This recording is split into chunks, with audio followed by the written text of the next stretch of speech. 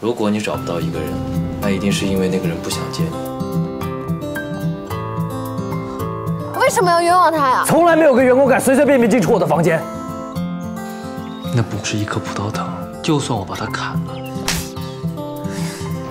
我就是从这条路奋不顾身的奔向了你。每当你靠近我的时候，我的头痛和失眠都会减轻。